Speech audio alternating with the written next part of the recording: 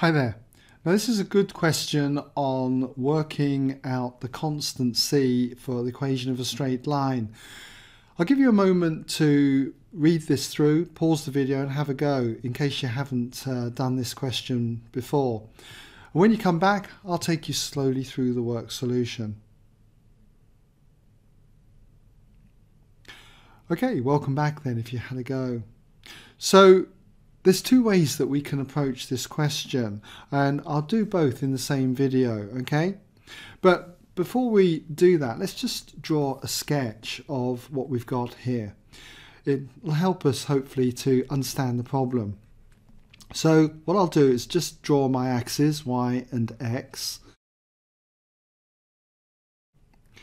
Now it's a positive x squared graph, so it's going to be a u-shaped parabola. It's going to cross the y-axis at 3, and let's say it looks something like this. Just draw in our parabola.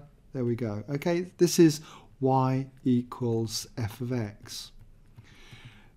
Now we're told that the line y equals 4x plus c is a tangent to this curve.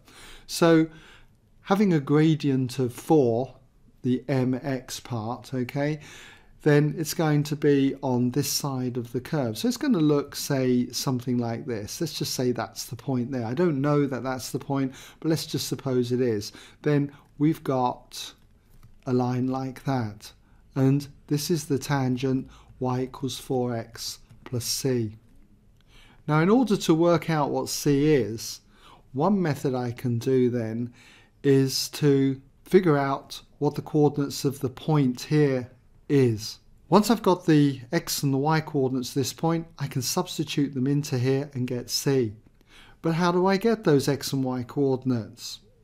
Well, we know that the gradient of this line is 4, the m part of y equals mx plus c.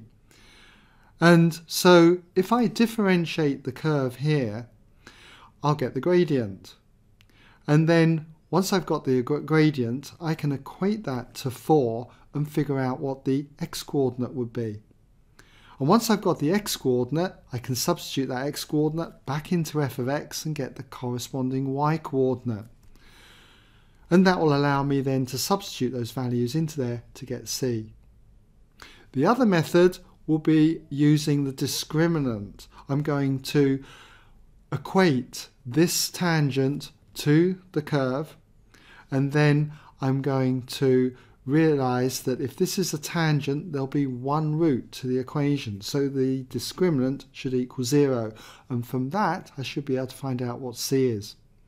So I'll run through both methods but just in case you want to have a go now and haven't been able to see how to do it hopefully that might give you some idea. So for the first method what I want to do was to differentiate the curve. So we'll say f prime x there, f dash x if you like, gives us the first differential. So differentiating 2x squared with respect to x gives us 4x. Differential of 8x is just 8. And the constant 3 goes to 0. So we want to find out the x value when this gradient is the same as the gradient of the tangent when it's 4. So that's when f dash x equals 4. So therefore, if I equate that to this, we've got 4 equals 4x plus 8.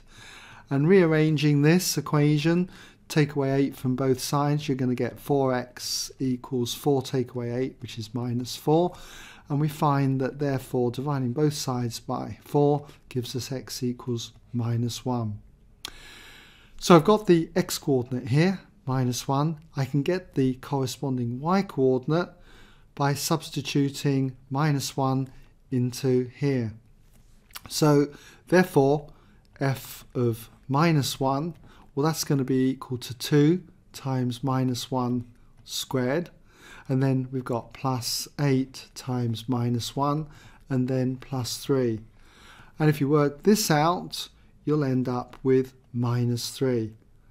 So this point here has coordinates minus 1, minus 3.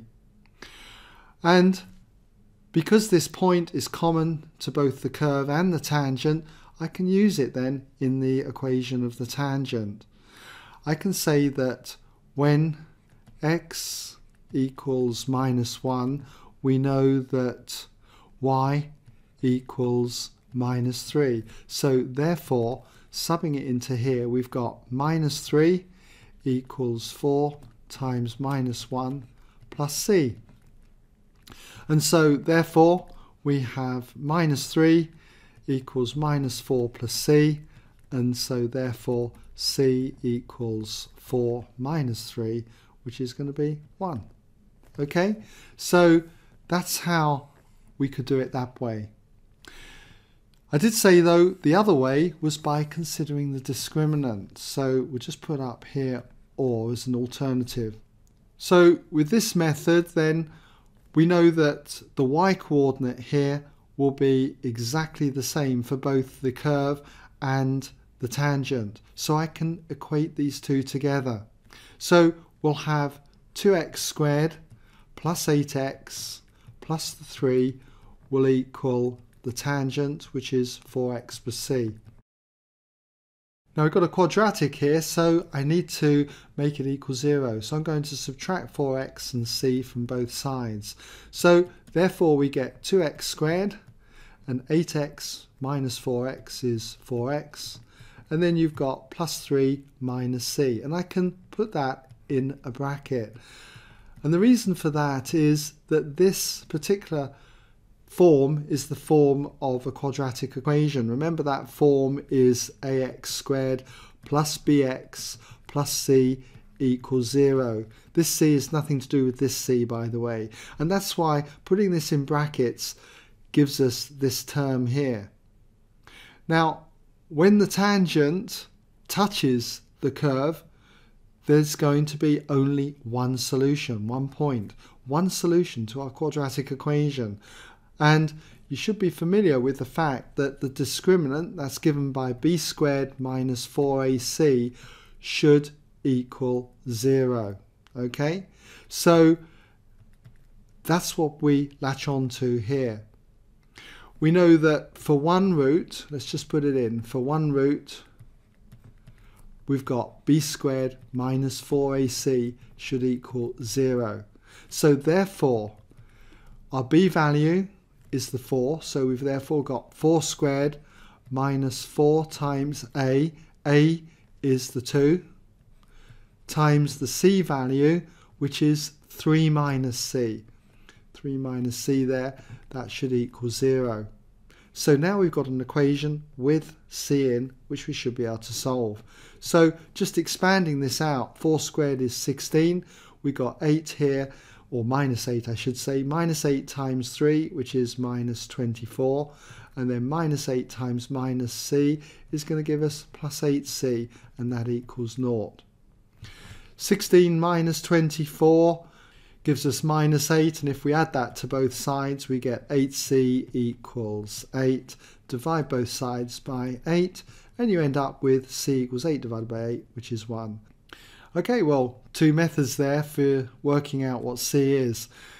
And I hope that's given you an idea then on how you can go about working this question out.